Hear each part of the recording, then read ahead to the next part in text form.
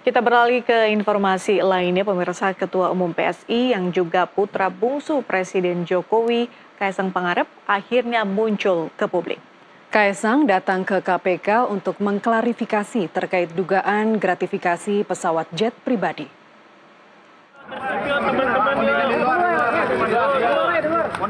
Putra bungsu Presiden Joko Widodo, Kaisang Pangarep, Selasa 17 September 2024 datang ke Gedung Pusat Edukasi Anti Korupsi KPK, Kuningan, Jakarta Selatan. Kaisang datang untuk mengklarifikasi dugaan gratifikasi pesawat jet yang dituduhkan kepadanya. Ketua Umum PSI ini mengatakan private jet yang ia tumpangi bersama istrinya Erina Gudono merupakan milik temannya. Jadi hari ini kedatangan saya ke KPK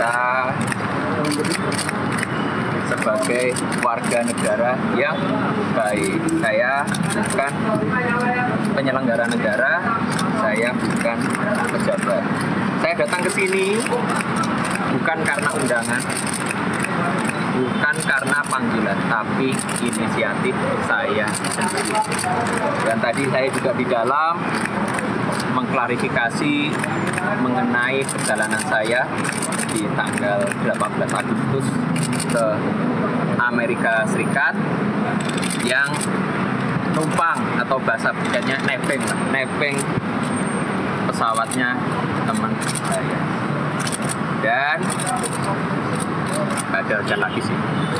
Jadi intinya untuk lebih lanjutnya bisa ditanyakan ke KPK untuk lebih detailnya. Juru bicara Kaisang, Francine Wijoyo, mengatakan di KPK Kaisang mengisi formulir gratifikasi dan selanjutnya pihaknya tengah menunggu arahan dari KPK. Walaupun sebenarnya Mas Kaisang nih ya kalau menurut kami ya ini tidak ada kewajiban untuk melaporkan uh, dugaan gratifikasi karena Mas Kaisang juga bukan penyelenggara negara, bukan pejabat negara. Uh, sebagaimana nanti kita baca dari pasal 12B Undang-Undang Tipikor ya kalau dari definisi institusi sebenarnya tidak perlu masuk. Namun kan kita di sini bukan debat mengenai uh, legal formal. Kedatangannya Mas Kaisang sudah uh, debat-debat tersebut. Dan tadi Mas Kaisang mengisi formulir uh, gratifikasi, nanti uh, tinggal menunggu arahan dan petunjuk dari KPK. Dugaan gratifikasi lewat fasilitas jet pribadi menghebohkan publik.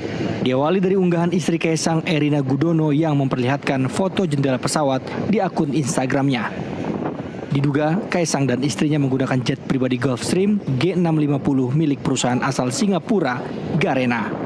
Tim Liputan NTV melaporkan.